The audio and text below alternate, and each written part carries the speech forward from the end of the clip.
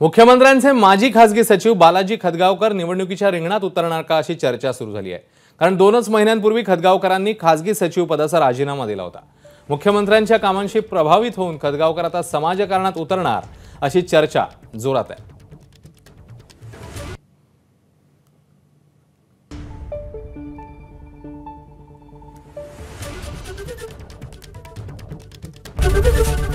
ABP माझा.